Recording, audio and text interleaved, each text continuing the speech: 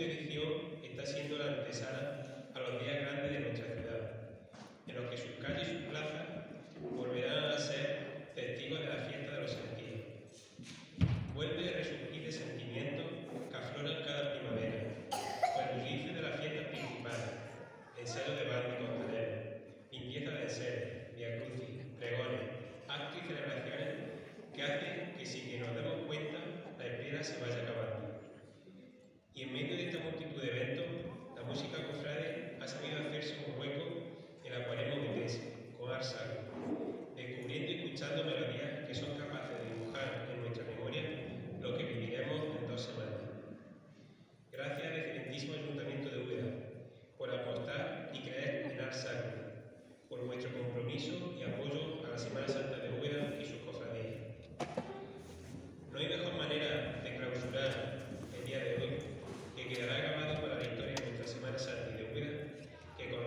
de abarcará el paso de María Santísima por nuestra ciudad. Hoy UNA ha cumplido una deuda pendiente con su historia y sus tradiciones.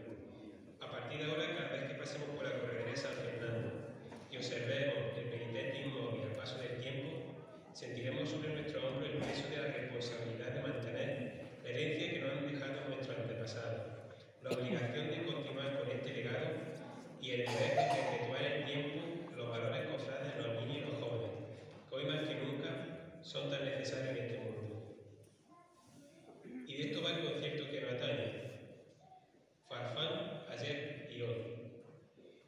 composiciones nuevas, cómo toman la base del pasado, de cómo un compositor llamado Manuel López Farfán, que en este año celebramos el 150 aniversario de su nacimiento, revoluciona la música profesional del inicio del siglo XX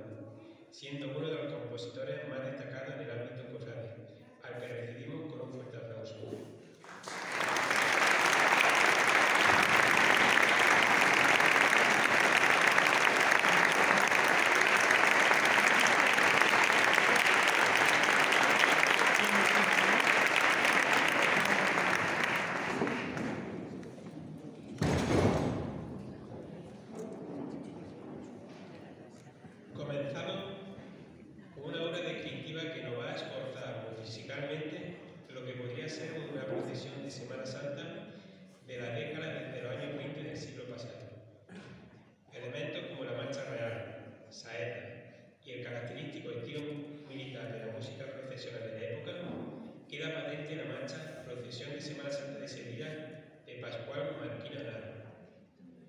coetáneo de los